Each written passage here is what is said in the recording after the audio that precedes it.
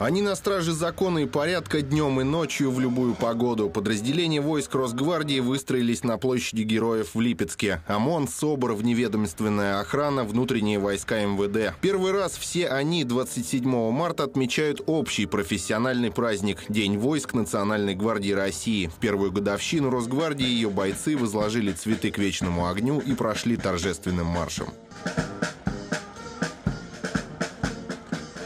В Липецкой области войска Росгвардии охраняют покой граждан и ведут борьбу с преступностью с октября прошлого года, а за полгода они провели 90 успешных спецопераций и задержали более 20 человек, которые находились в федеральном розыске. Так, к примеру, совместно с ФСБ росгвардейцы обезвредили преступную группу, которая пыталась сбыть целый арсенал оружия, а также партию наркотиков в одном из районов области. Подразделению ФСБ, УМВД, если есть заявки, соответственно, наше подразделение будет задействовано в всех этих мероприятиях.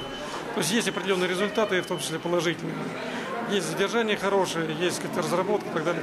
В Липецке находится штаб 109-й отдельной бригады Росгвардии. Она обеспечивает покой граждан в четырех областях – Тамбовской, Воронежской, Курской и Липецкой. Расслабляться бойцам здесь некогда. После ежедневных строевой и физических подготовок они отрабатывают действия при массовых беспорядках, работу патрульных в городе, стрельбу, ликвидацию опасных преступников и многое другое. Задачи, которые выполняются войсками Национальной гвардии в Липецкой области, являются это охрана общественного порядка, обеспечение общественной безопасности, борьба с экстремизмом, терроризмом.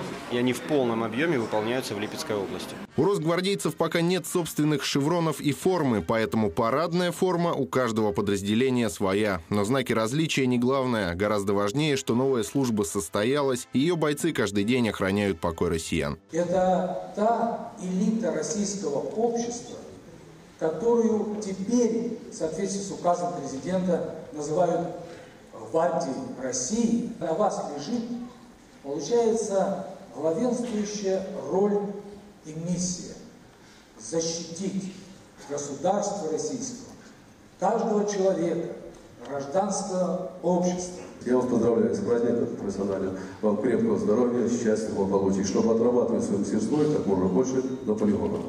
Более 30 росгвардейцев, отличившихся на службе, удостоились министерских наград и знаков отличия, а также благодарственных писем и почетных грамот из рук главы региона Олега Королева и председателя облсовета Павла Путилина. Двое сотрудников получили очередные звания. Дмитрий Курмаков, Илья Горский, Липецкое время.